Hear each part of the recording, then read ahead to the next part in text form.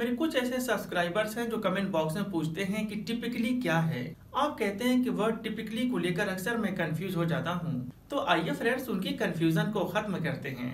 Word typically का मतलब होता है आम तौर पर। जैसे आम तौर पर मैं अंग्रेज़ी दवा नहीं खाता हूँ। तो इस सेंटेंस के लिए आप कहेंगे typically I don't take allopathic medicine यानी आमतौर पर मैं एलोपैथिक दवा नहीं खाता हूँ। कई बार आप अपने लाइफ में कहते हैं कि इसे करने में एक दो दिन लगते हैं तो इस सेंटेंस के लिए आप कह सकते हैं it typically takes one or two days to complete यानी आमतौर पर इसे कंप्लीट होने में एक दो दिन लगते हैं। यह मैं आपको बता दूँ कि अगर वर्ड टिपिकली का इस्तेमाल आप सेंटेंस के शुरू में करेंगे तो आपको कॉमा से सेपरेट रखना होगा। और अगर आप इसे सेंटेंस के अंदर लिखना चाहते हैं तो आप इसे मेन वर्ब के पहले लिखेंगे। जैसा कि आपने यहाँ पर देखा, आइए कुछ और एग्जाम्पल्स देखते हैं ताकि यह कंसेप्ट आपको और अच्छा से समझ में आ सके। आमतौर पर एक अच्छा इंजीनियर एक दिन के लिए हज़ार रुपया लेता है तो इस सेंटेंस के लिए आप कहेंगे typically a top engineer costs up one thousand for a day यानी आमतौर पर एक अच्छा इंजीनियर एक दिन के लिए हज़ार रुपया लेता है या हज़ार रुपया चार्ज करता है।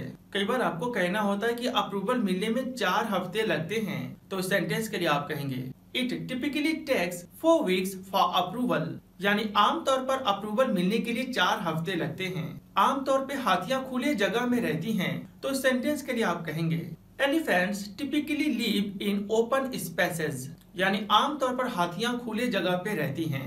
आमतौर पर एक दिन में मैं दो वीडियो शूट कर सकता हूँ। तो इस सेंटेंस के लिए आप कहेंगे typically I can shoot two videos in a day यानी आमतौर पर एक दिन में मैं दो वीडियो शूट कर सकता हूँ। तो फ्रेंड्स उम्मीद करता हूँ आपको ये बात समझ में आया कि टिपिकली का मतलब होता है आमतौर पर। तो फ्रेंड्स अगर वाकई आपने इस कंसेप्ट को समझा तो क्या इस टॉपिक पर कुछ सेंटेंसेस कमेंट बॉक्स में नहीं लिखेंगे? कुछ सेंटेंसेस कमेंट बॉक्स में लिखे ताकि मैं देख सकूँ की आपने सही सीखा या गलत। फिर मिलेंगे कुछ और अच्छा लेसन के साथ। तब तक के लिए बाय